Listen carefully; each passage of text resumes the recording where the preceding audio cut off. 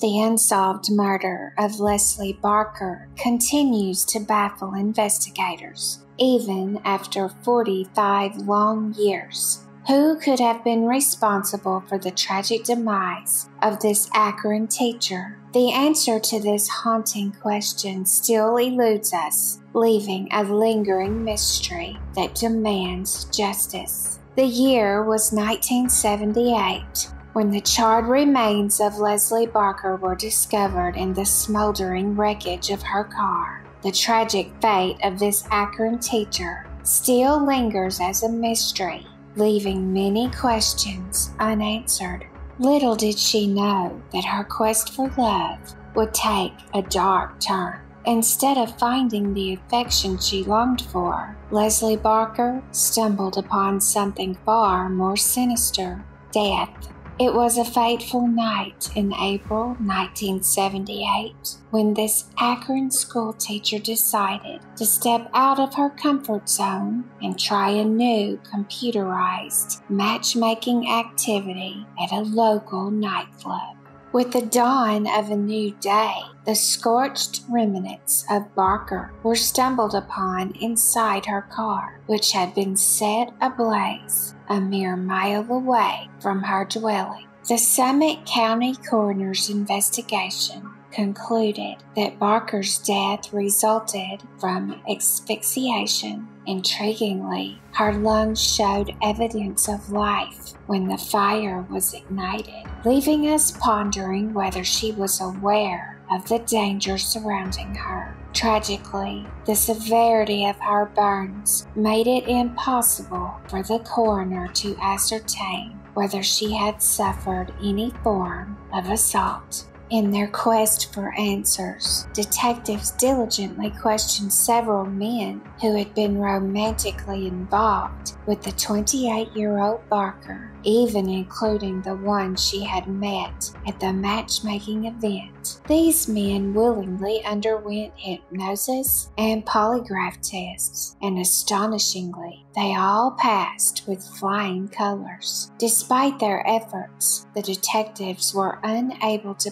pinpoint the person responsible for Barker's tragic demise. There's no evidence, Detective James Poshilech said, noting that the car fire, fueled by an accelerant, made the recovery of evidence difficult. There's nothing that puts anybody anywhere, he said.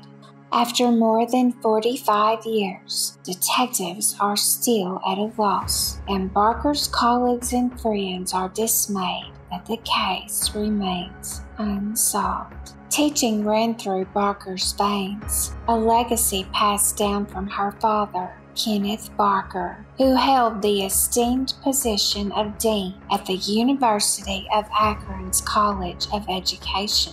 Following her graduation from Firestone High School, Leslie Barker chose to tread the same path and obtained her teaching degree from University of Akron. In the year 1978, she was thriving in her role as a special education teacher at Hotchkiss, a school that has since shut down and its buildings sold off. Her genuine love for her job was evident in the way she interacted with her 17 students, providing them with the care and understanding they needed. Barker organized educational outings for her students, including a visit to her residence in West Akron, allowing the children to see where she shared a home with her parents and brother. Barker was single, but that did not mean she was not trying. She made sure to socialize with her friends regularly heading to Red's on Waterloo Road for a night of dancing and fun, embracing the disco fever of the time. In 1978, as spring rolled around, Reds introduced a fresh incentive for customers, Selectrocution, an early form of online dating that paired up bar attendees. That night, the bartender at Red's vividly remembered Barker and her friend perched at the end of the lengthy oval shaped bar whenever they took a break from dancing.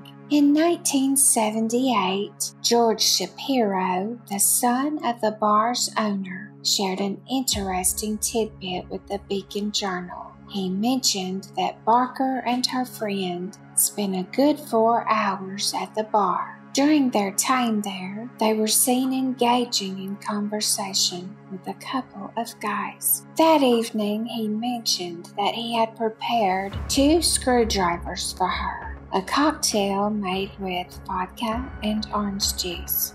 He could not recall the exact time she departed, but he remembered seeing her around 1 a.m. In the early hours of the morning, around 5:30 a.m. A resident living on Minter Road in West Akron was jolted awake by a series of three thunderous explosions. Startled, both the resident and his wife rushed to the window and were met with a chilling sight flames dancing in the pitch black darkness. With sirens blaring, firefighters and police swiftly made their way to the wooded area adjacent to Minter Road. This access road, known for its romantic rendezvous, was now the backdrop for a dramatic scene.